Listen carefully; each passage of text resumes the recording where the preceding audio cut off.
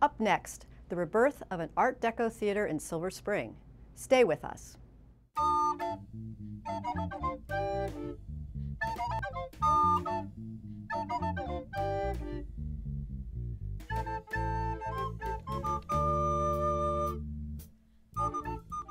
Hi, I'm Barbara Grunbaum, producer of Paths to the Present, standing in today for Gail Street.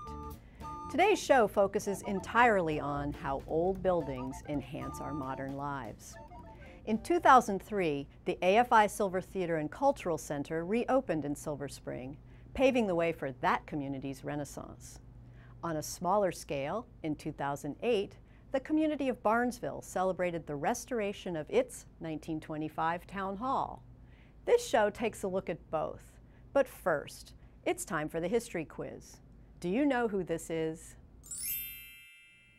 From 1909 until his untimely death 50 years later, this man dedicated his life to healing his patients, neighbors, and friends in the community of Sandy Spring. He's credited with many things, most notably starting the first acute care hospital in Montgomery County. Think you know who this is? Stay tuned. I'll give you the answer at the end of the show. The town of Barnesville sits about 35 miles northwest of Washington, D.C., in the shadow of Sugarloaf Mountain. Founded in 1747, it grew quickly, serving the surrounding farmers. Today, Barnesville has retained much of its small town charm. In the summer of 2008, many of its nearly 200 residents came together to rededicate a building that's significant to them all. Welcome to the Barnesville Town Hall. You can find it along Barnesville Road, the town's main street. The building has a long history here, but it's been decades since it was used as a municipal building. Pete Menke, mayor of Barnesville, explains. The uh, town hall here was built back in 1925, and it was built as a town hall. It remained a town hall for a number of years, and for some reason, and no records indicate why, uh, they turned it over uh, to the public. Uh, after that, it uh, was in the hands of both the Lions Club and then later became a private residence. Uh, the Baptist minister had passed away, and his wife had moved over here. And it was occupied as a home, and then we went for 20 years basically without anyone living here. Uh, that's when we took the project in hand. When the town acquired it, the exterior hadn't been painted in over 20 years. Shrubs had overgrown it, and it was an eyesore. And inside was even worse. Uh, when we came in, it was divided as a house, divided up. So there were rooms, second floor, uh, trash piled up, uh, old beds, couches, everything. We hauled dump, dumpster load after dumpster load out of here and then began the arduous process of cleaning it up and making it into what it is. To get from this to this took a lot of hard work, as well as a clear vision of the end product. Once we established that the, the building was restorable, we wanted to take it back to the way that it was in 1925. Fortunately, uh, a lot of the original materials were here and were restorable. Uh, we have original uh, chestnut floors.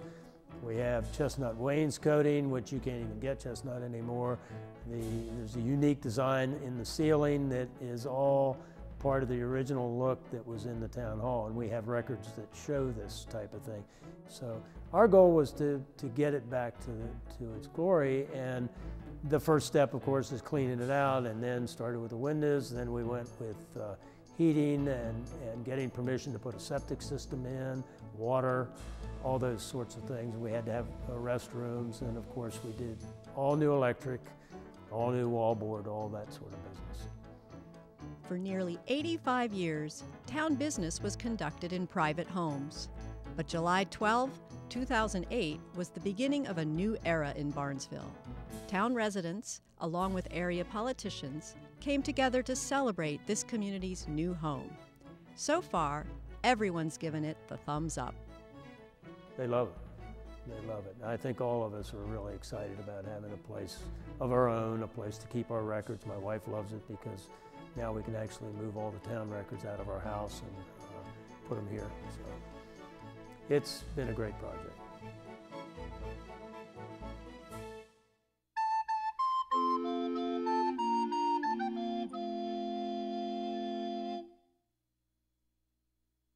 Our next segment is another success story, but this is not just the story of saving a building. It can be said that this one saved a community. The AFI Silver Theater and Cultural Center celebrated its opening night on April 4th, 2003. 65 years earlier, the Silver opened for the first time. Back then, like today, this theater had much to do with the development of Silver Spring. The Silver Theater opened September 15, 1938, with Four Daughters, starring John Garfield and Claude Rains. It was developed alongside the Silver Spring Shopping Center, this county's first automobile oriented shopping strip mall.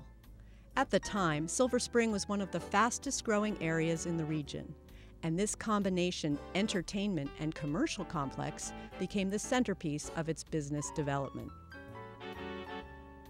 John Eberson, renowned theater architect, designed both structures in a style which today is described as streamlined moderne. Eberson chose a nautical theme for the theater. When viewed from above, its shape mimics the lines of a ship. And throughout the building, decorative touches continue this maritime motif. For years, people flocked to see the latest releases in this 1,100 seat auditorium. The Silver Theater was a very, very successful theater over the years and was really uh, integral to its community. And, and, if you talk to anybody uh, of, who was around in the 30s, 40s, or 50s, you'll, you'll, you'll see they're great, greatly attached to it. And it was really central to it. That's Ray Barry. He first got involved with the theater's restoration project in 1997. Now he's the director of the AFI Silver Theater and Cultural Center. As time went on, uh, the commercial environment around here changed quite dramatically. The um, the concept of the shopping mall was created, and you know Wheaton Plaza north of here was opened, and uh, that had a great impact on the commercial activity here, as well as in the 70s, the the uh, theater business changed dramatically, and uh, the notion of a standalone thousand-seat movie theater just simply wasn't a business model that existed anymore, and you saw the start of the multiplex and the multi-screen theaters. So, uh, you know, the, the net impact of all of that was that the theater really came on some hard times. Unable to continue, the theater was shuttered in 1985. In an effort to block historic designation, its owner, KB Theater, had begun removing parts of the building. In a matter of days, the signature marquee, glass trim, and decorative portholes were gone. This sparked a more than 10 year struggle among concerned citizens to save the Silver Theater. Meanwhile, efforts to revitalize downtown Silver Spring met with many false starts. A central concern was what would happen to the silver? Three county executives later, a plan was finally hatched in 1998 that everyone could live with. That's when the AFI signed on to move here from the Kennedy Center, and the hard work of rebuilding began.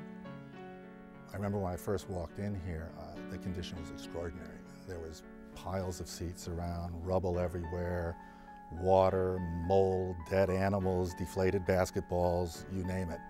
Um, it was really a very, very, very grim picture. Um, so we looked at it and it was, it was sort of, one, intimidating, but two, how would you take this and, and uh, respect the historic fabric, do the renovation, and yet make it a living place again, not just a recreation of a 1938 theater um, and serve the economic development purposes that really everyone was looking for as, as, as, as AFI anchoring the, this project. The five year, multi million dollar, county funded project added two additional theaters, a cafe, as well as meeting and office space, all while breathing new life in the old Silver Theater.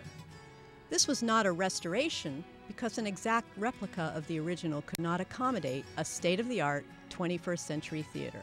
However, this rehabilitation comes pretty close. It was not easy to recreate this because all we had was black and white pictures and approximately 12 to 20 pages of original construction drawings. So, you know, those drawings might say turquoise and pink. What that really means is anybody's guess. Uh, so we had a lot of work. We had terrific historic architects. We had uh, terrific construction people who really, really were dedicated to getting it right. So it, there's a lot that went into it, a lot of research. Um, we have a lot of authentic things here and some things that are our best guess. Um, carpeting's authentic. Wall colors for the murals are best guess. On April 4th, 2003, the Silver Theater was rededicated as the AFI Silver Theater and Cultural Center. Opening night was a pretty exciting event for, for not just us at AFI, I think for everyone in the county, for this community. Uh, you know, we had our formal ceremonial ribbon cutting and you know standing out front with the cameras with hundreds of people, with people on both sides of Colesville Road, with uh, with our county executive Doug Duncan, our CEO Clint Eastwood, and everybody there. And uh, uh, it was it was the culmination of really five years of very very hard work, and and and uh, uh, it was an experience I don't think I'll ever have again or anything like it. This theater is a work of art. I'm very uh, very pleased to have had the opportunity to come here and see this restoration. Very exciting, and to and to see your support for motion pictures. As he addressed the audience, Mr. Eastwood said what everyone was thinking.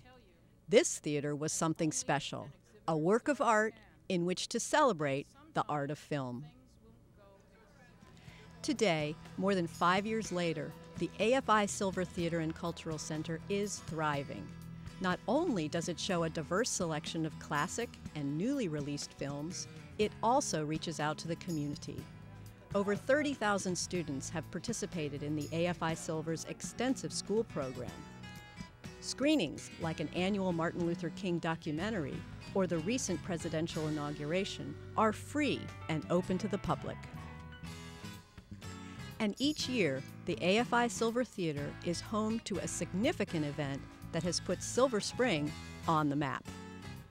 Our biggest annual event that we, we, have created for, literally from scratch is Silver Docs AFI Discovery Channel Documentary Festival. Um, it obviously represents an extraordinary collaboration with uh, Discovery Communications, our neighbor. Uh, from out of nowhere, we really have created what is the preeminent documentary festival in the United States and clearly one of the two or three top documentary events in the world. It is an event that really, I think, has put Silver Spring on the map in a way that uh, is almost unimaginable. Nowadays, it is impossible to think of Silver Spring without the AFI Silver Theater and Cultural Center. As this district's council member, Valerie Ervin, says, it's the heart of this community's revitalization. I don't think people really understood how important uh, the restoration of AFI silver was until it was done, and then it became a magnet. And so, for many people who could walk to the theater and uh, see movies in this spectacular uh, surrounding, it really has helped to revitalize that community. People go and they go to a restaurant, they have dinner, then they go to the theater. So, the renaissance of Silver Spring to me is all about AFI Silver. Okay, time's up. Did you figure out who this is? Beginning in 1909, Dr. Jacob Bird gave 50 years of country doctor service to the community of Sandy Spring. In 1920, during the height of a flu epidemic, he founded Montgomery General Hospital. It opened with 28 beds and has grown to more than five times that size. Dr. Bird died unexpectedly in a car accident, only three months after celebrating his golden anniversary of service to Sandy Spring. Well, that's all the time we have for this show. If you have comments for us or ideas for future shows, send an email to paths.present at verizon.net. Be sure and tune in again next time as we follow more paths to the present. See you then.